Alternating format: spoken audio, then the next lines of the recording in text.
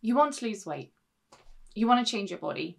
You want to have your dream body. It might even be the most important thing in the world to you. It's been a focal point for so long, but it's hard, right?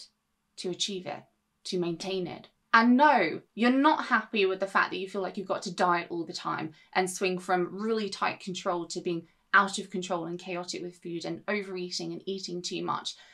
Yes, you recognize that you think about food or weight or your body 60, 80, 100% of the day. No, you're not happy with the fact that you often don't go out and see your friends or go out and do things because you're either afraid that food is going to be involved and you might break your diet, or you're embarrassed about your weight because you lost weight and then you gain some weight. While you might get a kick out of counting calories or tracking food or making plans, it also drains you. And it would be nice if you felt like you didn't have to do it. And maybe you spend a lot of time wondering why is it so hard for me?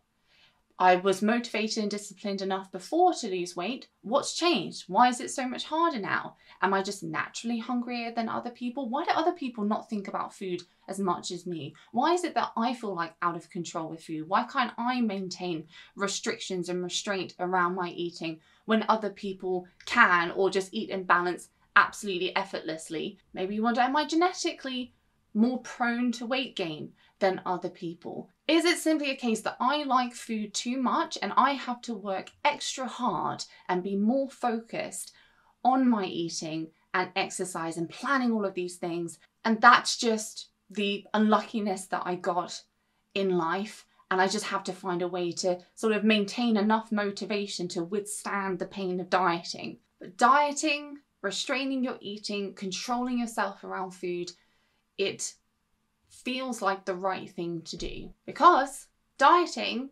restraining food, equals weight loss. You've seen the evidence for it everywhere, and weight loss feels like the right thing to do, or changing your body feels like the right thing to do because then you get to experience life and the best version of yourself on the the best possible level, right? If someone were to see what you were doing with food and all of the dieting and out of control, just all of it as a big picture, you might think that they might think, this seems like a lot of time and energy and effort and a lot of sacrifice going on on your part. And for what? You know, what do you get out of it? This, what you get out of it must be so unbelievably amazing for it to be worth all of this sacrifice and pain and hardship. And it is. That's the thing. And it is the most unbelievable outcome that you are striving for. You know, some people that I speak to say, I think about food and my weight um, 90, 100% of the day. I plan, I spend hours looking online, planning weight loss, uh, looking for inspiration, learning about different nutrition, different diet plans, etc.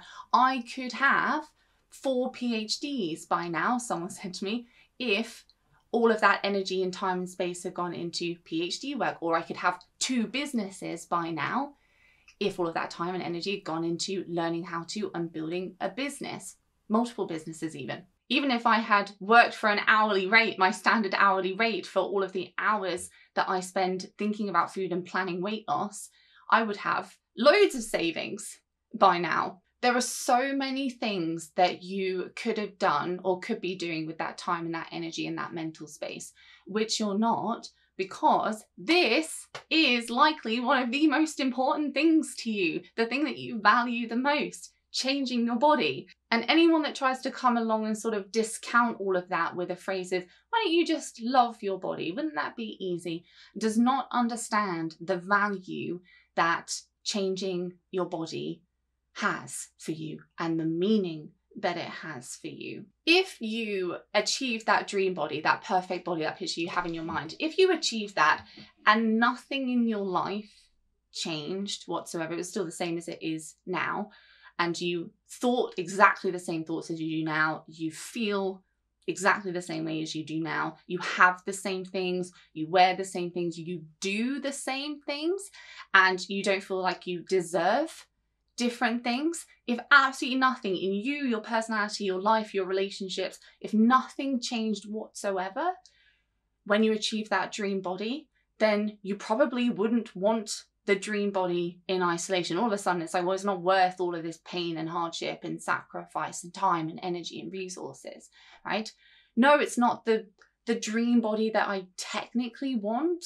It's everything in my life and myself that's going to change for the better once I have achieved it. And I'm not talking about um, health and mobility related concerns here, by the way. I recognize that some people want to change their body because of health related concerns or, or mobility related concerns.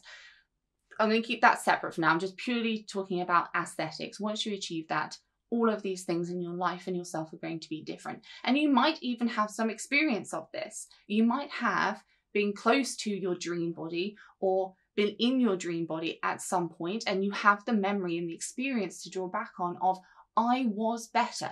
I was a better version of myself. I was happier. I was more confident. I was more outgoing. I did more things. I felt deserving of more, whatever the case may be. I'd like to try something with you to illustrate the point which I'll make in a moment. If you pause the video and have a look at this, I've started doing this with some people, and think about being in your dream body and maintaining it, your perfect body. There you are, you've arrived, it's yours. And just highlight all the different feelings that you will feel when you're there. And I'll just leave this up for a second and you can pause it and just go through. Okay, amazing. And I don't know what you chose as true for you, but I'll just take some examples. Let's say that in your dream body, you will feel elated, confident, delighted, respected, fulfilled, courageous, hopeful, inspired, open, powerful. And I'll use those as examples, but use whichever ones were true for you, whichever feelings were true for you. When if those feelings, let's say powerful, hopeful, open, confident as examples, if those feelings and that experience is behind a locked door, lock and key until you achieve your dream body, then yeah, I would understand. Anyone should hopefully understand why someone would go through such hardship for so many years and spend so much time trying to achieve their dream body so that they can have access to all of these states, which are fundamentally extremely important and crucial. And the flip side is if we take the the opposite of those feelings, right? So let's say insecure, insignificant, closed off, disrespected, lost. If weight gain or a lack of weight loss comes with those feelings, absolutely any any rational person would want to change that as quickly as possible. Why would they embrace that, right? And so when people say you should just love your body. You should just accept your body. That sounds like a good idea. It's like, yeah, okay, rationally, you know, it sounds like a good idea. But then I'm left with all of these feelings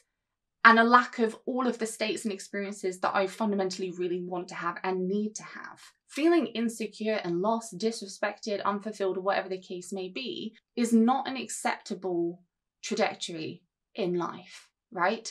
And so the idea of not pursuing a dream body or just or gaining weight or, or maintaining the body that you have if you're dissatisfied with it obviously that may not seem like a viable option at all and then we pile on things like i don't know my my mum won't approve of me until i've lost weight or i can't have the partner that i want until i'm in my dream body or closer to it or I can't have fun, or all of these things. You start racking up those things that are behind a locked door until you achieve a certain body type. And it's like, come on. Well, of course, someone would input so much time and energy and resources and so much sacrifice and so much pain and so much hardship because the payoff is so great. And it's not even that the payoff is great, it's that life is fundamentally unacceptable until those things start to be achieved and experienced, right? Life is on hold until that body is achieved big time. And you might think, okay, rationally, logically, logically, okay, it's not that once fat cells reduce in size and I sort of excrete fat out of my body, it takes insecurity with it physically, medically, biologically. Yes, okay, it's not that technically, biologically, my body is physically stopping me from going to have fun or going out to see people or wearing a swimsuit. but it doesn't matter because it really feels like it fundamentally feels like my body is the problem. If my body was just to change, if it could just change, then I would have all of these things. I would have the life that I want. I would be the person that I want to be, that I picture in my mind of who I actually am, the best version of me. Because also, it's kind of true in a lot of ways. You may have experiences of losing weight, and then lo and behold, you feel more confident, you feel more outgoing, you feel more respected and admired, and, and whatever the case may be for you. And you might say, Yeah, okay, but still, you know, it's not like insecurity again left my body along with the fat, but it sure feels that way. The idea of living my life to the fullest and feeling all of these feelings and basically having the experience of being in my dream body, but without my dream body, mm, that doesn't compute. They are they are the same thing at this point. That association is strong to the point the association is so strong that it becomes a fact. And man, does that association put us in a vulnerable position, an incredibly vulnerable position. I spoke about this ages ago, but I'm going to use the analogy again. Let's say, right, I'll take something ridiculous. This pencil. Okay, let's say that so long as I'm holding this pencil in my life, then I am allowed to have fun. I am the best version of myself. I feel like the best version of myself. I feel like I can express the full range of my personality. I feel like I can accept compliments. I can go and do whatever I want, right? You get the picture. As long as I'm holding this pencil. If I ever put this pencil down, then all of that goes away. So I better keep a hold of this pencil. What a vulnerable position that puts me and my life in. Imagine then, I'm expanding the analogy, imagine someone steals my pencil at some point how much time and energy and resources and mental load am I going to put into tracking that person down to get my pencil back? I don't want the pencil. I want the life that the pencil gives me and the feelings that the pencil gives me, right? So you can bet I probably spend the vast majority of my time trying to track that person down and getting this pencil back. My dream body was this pencil for over a decade of my life. And it was exhausting because everything about my life and myself was constantly vulnerable and I was never good enough. And the thing is, of course, of course, we don't want to question it. And I'm probably going to lose a lot of people at this point in the video. Of course, we don't want to question it. Well, is that actually all true? Is it is that the only way that we can have everything that we want in life, or the vast majority of things that we want in life? Is that true? If we built up this identity and these goals and this picture in our mind of our future and our life, and it all kind of looks a certain way, and it's all riding on one thing, we can get really protective about that particular thing. For instance, you know, I'm not being hypocritical here when I make this point. For instance, I really, really want to run a successful business, okay? Because I think and I see when I'm running a successful business, it's going to give me all of these different things. I'm going to feel accomplished, I'm going to feel fulfilled, I'm going to feel happy, I'm going to feel inspired, I'm going to have freedom, I'm going to have the financial means to do the things that I want to do. It's all kind of wrapped up and riding on me setting up and running a successful business. If someone were to come along and be like, well, Rachael, you know, running a business and having a successful business isn't the only way to have all of those things and feel all of those feelings. I'm like, yes, okay, maybe that's true, but this is what's true for me. And so I'm going after it. I really don't want to be questioned on it. This is what I picture. And don't screw with my vision and identity, basically, right? I'm super protective about it. And because of all these things that I see coming along with that, which I really fundamentally believe to be true, and because I believe them to be true, they probably will be true that I will have all of these things and these feelings. I am willing to put to work 70 hour weeks right now. I am willing to get very, very stressed, get overwhelmed, to miss out on social events because I'm busy working, to invest time and financial resources into that because the payoff is worth it to me. I'm not here to question your extreme desire for your dream body or your perfect body. The opposite, actually, I'm here to, I want to validate it. What concerns me is the number of people that I speak to who have been trying to achieve their dream body so that they can achieve their dream life and, and perfect version of themselves or their ideal version of themselves for a very, very long time. and they're not any closer to it in any meaningful sense, and they may even be further away from it. And in the meantime, they have spent years becoming more and more of all of the feelings and experiences that they don't want to have.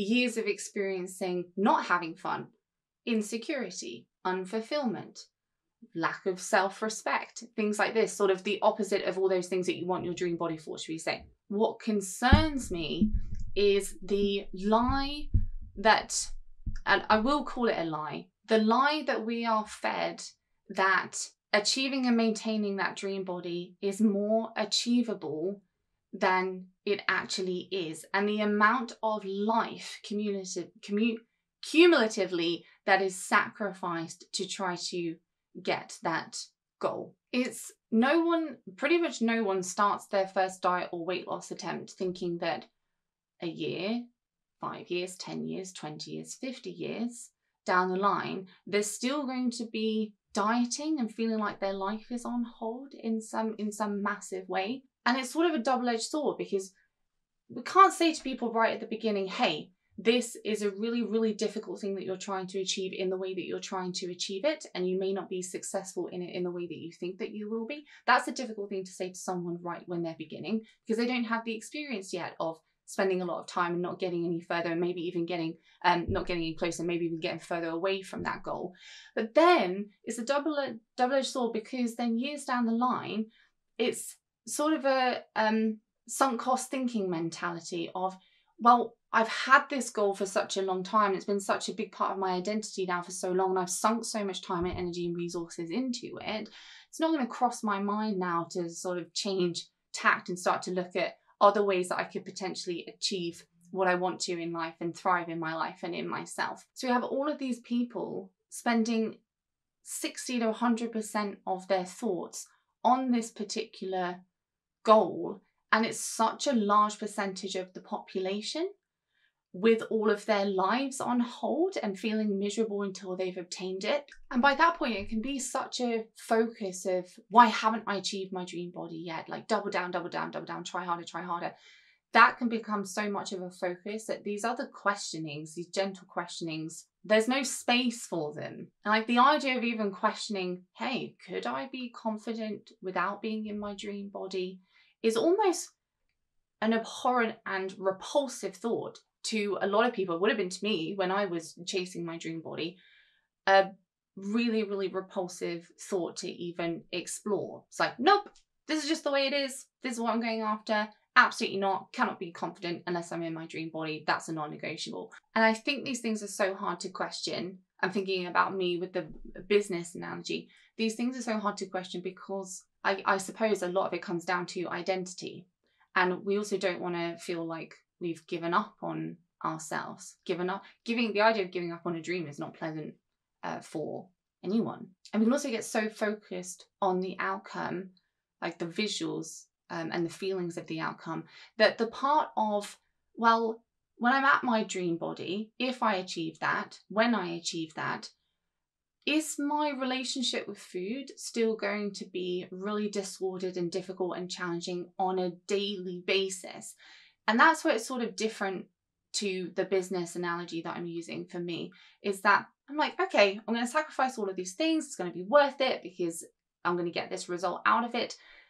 Then I have the option of selling a successful business and sort of walking away from it and kind of taking all of the benefits at the end point. My concern is because I see a lot of this is that if using disordered eating practices to gain our dream body, even if we're able to achieve it, which is a whole different topic of conversation in itself, but even if we can achieve it with disordered eating practices, surely then those disordered eating practices they must be maintained in order to maintain that dream body if it's achievable in the first place. The daily weighing, the feeling hungry, the thinking about food all the time, not being able to eat freely and go and socialize and do things freely with friends and family and loved ones, constantly being on high alert of am I going to gain a pound? Am I going to lose a pound?